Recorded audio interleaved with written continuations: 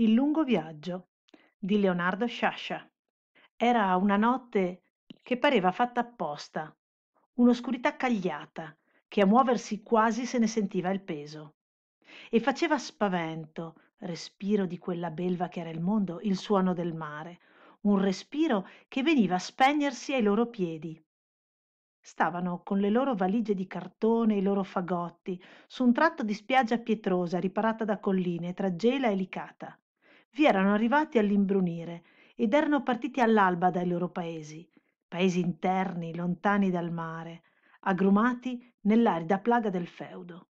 Qualcuno di loro era la prima volta che vedeva il mare e sgomentava il pensiero di dover attraversarlo tutto, da quella deserta spiaggia della Sicilia di notte ad un'altra deserta spiaggia dell'America, pure di notte perché i patti erano questi. Io di notte vi imbarco, aveva detto l'uomo, una specie di commesso viaggiatore per la parlantina, ma serio e onesto nel volto, e di notte vi sbarco. Sulla spiaggia del New Jersey vi sbarco a due passi da Nuova York. E chi ha parenti in America può scrivergli che aspettino alla stazione di Trenton, dodici giorni dopo l'imbarco, fatevi il conto da voi.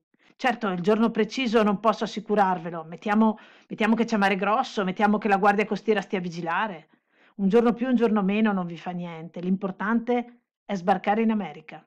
E l'importante era davvero sbarcare in America, come quando non aveva poi importanza. Se ai loro parenti arrivavano le lettere, con quegli indirizzi confusi e sgorbi che riuscivano a tracciare sulle buste, sarebbero arrivati anche loro. Chi ha lingua passa il mare, giustamente diceva il proverbio e avrebbero passato il mare, quel grande mare oscuro, e sarebbero approdati agli stori, alle farme dell'America, all'affetto dei loro fratelli, zii, cugini, nipoti, alle calde, ricche, abbondanti case, alle automobili, grandi come case. 250.000 lire, metà alla partenza, metà all'arrivo. Le tenevano a modo di scapolari tra la pelle e la camicia. Avevano venduto tutto quello che avevano da vendere per raccimolarle, la casa terragna, il muro, l'asino, le provviste dell'annata, il canterano, le coltri. I più furbi avevano fatto ricorso agli usurai, con la segreta intenzione di fregarli, una volta almeno, dopo anni che ne subivano angaria, e ne avevano soddisfazione al pensiero della faccia che avrebbero fatta nell'apprendere la notizia. Vieni a cercarmi in America, sanguisuga, magari ti ridò i tuoi soldi, ma senza interesse, se ti riesci di trovarmi e il sogno dell'America traboccava di dollari, ma non più il denaro custodito nel logoro portafogli o nascosto tra la camicia e la pelle, ma cacciato con noncuranza nelle tasche dei pantaloni, tirato fuori a manciate, come avevano visto fare i loro parenti, che erano partiti morti di fame, magri e cotti dal sole, e dopo venti o trent'anni tornavano, ma per una breve vacanza, con la faccia piena e rosea, che faceva bel contrasto coi capelli candidi. Erano già le undici. Uno di loro accese la lampadina tascabile, il segnale che potevano venire a prenderli per portarli sul piroscafo. Quando la spense, l'oscurità sembrò più spessa e paurosa. Ma qualche minuto dopo, dal respiro ossessivo del mare affiorò un più umano domestico suono d'acqua, quasi che vi si riempissero e vuotassero col ritmo dei secchi. Poi venne un brusio, un parlottare sommesso. Si trovarono davanti il signor Melfa, che con questo nome conoscevano l'impresario della loro avventura, prima ancora di aver capito che la barca aveva toccato terra. Ci siamo tutti? domandò il signor Melfa. Accese la lampadina e fece la conta. Ne mancavano due. Forse ci hanno ripensato, forse arriveranno più tardi. Peggio per loro in ogni caso. E che? Ci mettiamo ad aspettarli, col rischio che corriamo? Tutti dissero che non era il caso di aspettarli. Se qualcuno di voi non ha il contante pronto, ammonì il signor Melfa, è meglio che si metta la strada tra le gambe e se ne torni a casa, che se pensa di farmi a bordo la sorpresa sbaglia di grosso. Io vi riporto a terra, come è vero Dio, tutti quanti siete. E che per uno debbano pagare tutti non è cosa giusta, e dunque chi ne avrà colpa la pagherà per mano mia e per mano dei compagni. Una pestata che se ne ricorderà mentre campa, se gli va bene. Tutti assicurarono e giurarono che il contante c'era fino all'ultimo soldo. In barca, disse il signor Melfa. E di colpo ciascuno dei partenti diventò una informe massa, un confuso grappolo di bagagli. Cristo, che vi siete portata la casa appresso? Cominciò a sgranare bestemmie e finì quando tutto il carico, uomini e bagagli, si ammucchiò nella barca, col rischio che un uomo o un fagotto ne traboccasse fuori. E la differenza tra un uomo e un fagotto era per il signor Melfa nel fatto che l'uomo si portava appresso le 250.000 lire, addosso, cucite nella giacca o tra la camicia e la pelle. Li conosceva lui, li conosceva bene, questi contadini zoticoni, questi villani. Il viaggio durò meno del previsto, undici notti, quella della partenza compresa, e contavano le notti invece che i giorni, perché le notti erano di atroce promiscuità, soffocanti. Si sentivano immersi nell'odore di pesce, di nafta e di vomito, come in un liquido caldo nero bitume. Ne grondavano all'alba stremati quando salivano ad abbeverarsi di luce e di vento. Ma come l'idea del mare era per loro un piano verdeggiante di messe quando il vento lo sommuove il mare vero li atterriva e le viscere gli si strizzavano gli occhi dolorosamente verminavano di luce se appena indugiavano a guardare ma all'undicesima notte il signor melfa li chiamò in coperta e credettero dapprima che fitte costellazioni fossero scese al mare come greggi. Ed erano invece paesi paesi della ricca america che come gioielli brillavano nella notte. E la notte stessa era un incanto serena e dolce una mezzaluna che trascorreva tra una trasparente fauna di nuvole una brezza che allargava i polmoni. Ecco l'america disse il signor melfa non c'è pericolo che sia un altro posto? domandò uno. Perché per tutto il viaggio aveva pensato che nel mare non ci sono né strade né trazzere ed era da dio fare la via giusta senza sgarrare conducendo una nave tra cielo e acqua.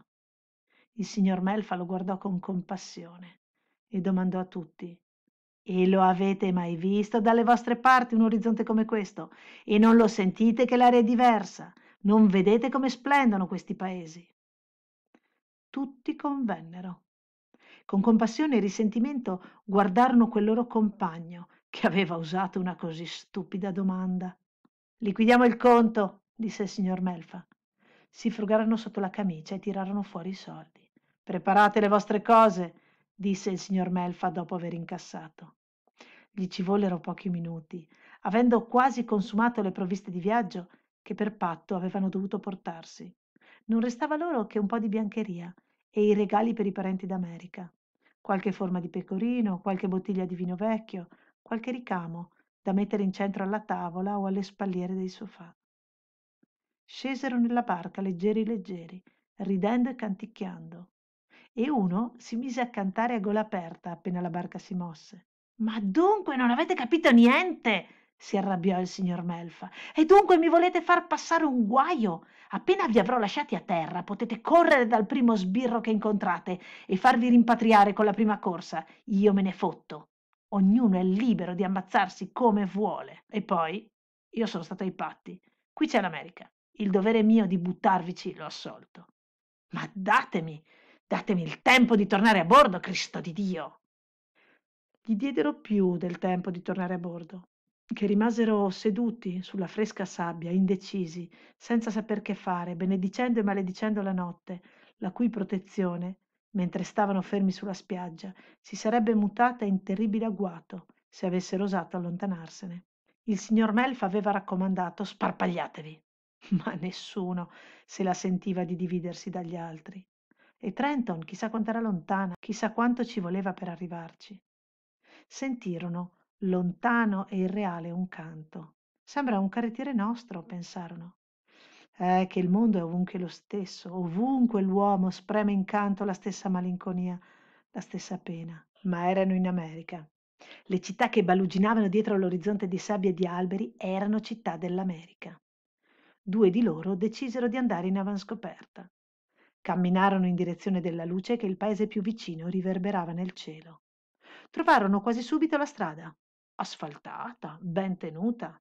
Qui è diverso che da noi. Ma per la verità se l'aspettavano più ampia e più dritta. Se ne tennero fuori ad evitare incontri. La seguivano camminando tra gli alberi. Passò un'automobile, pare una 600, e poi un'altra che pareva una 1100 e un'altra ancora. Le nostre macchine loro le tengono per capriccio, le comprano ai ragazzi come da noi le biciclette. Poi passarono, assordanti, due motociclette, una dietro l'altra. Era la polizia, non c'era da sbagliare. Meno male che si erano tenuti fuori dalla strada. Ed ecco che finalmente c'erano le frecce. Guardarono avanti e indietro, entrarono nella strada, si avvicinarono a leggere. Santa Croce Camerina, Scoglitti. Eh, Santa Croce Camerina. Non mi è nuovo questo nome, e pare anche a me, e nemmeno Scoglitti mi è nuovo.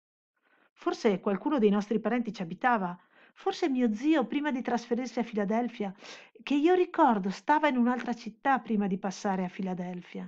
Anche mio fratello stava in un altro posto prima di andarsene a Brooklyn, ma come si chiamasse proprio non lo ricordo. E poi, e poi noi leggiamo Santa Croce Camerina, leggiamo Scoglitti, ma come leggono loro non lo sappiamo. L'americano non si legge come è scritto. Già, il bello dell'italiano è questo, che tu come è scritto lo leggi. Ma non è che possiamo passare qui la nottata, bisogna farsi coraggio. Io la prima macchina che passa la fermo. Domanderò solo Trenton? Qui la gente è più educata. Anche a non capire quello che dice gli scapperà un gesto, un segnale, e almeno capiremo da che parte è questa maledetta Trenton. Dalla curva, a 20 metri, sbucò una 500. L'automobilista se le vide guizzare davanti, le mani alzate a fermarlo. Frenò bestemmiando. Non pensò a una rapina, che la zona era tra le più calme. Credette volessero un passaggio. Aprì lo sportello. Trenton? domandò uno dei due. Che? fece l'automobilista. Trenton? Che Trenton della Madonna? imprecò l'uomo dell'automobile. Parla italiano? si dissero i due, guardandosi per consultarsi se non era il caso di rivelare a un compatriota la loro condizione. L'automobilista chiuse lo sportello e rimise in moto. L'automobile balzò in avanti e solo allora gridò ai due che rimanevano sulla strada come statue. Ubriaconi, cornuti ubriaconi, cornuti e figli di... Il resto si perse nella corsa. Il silenzio dilagò. Eh, mi sto ricordando, disse dopo un momento, quello cui il nome di Santa Croce non suonava nuovo.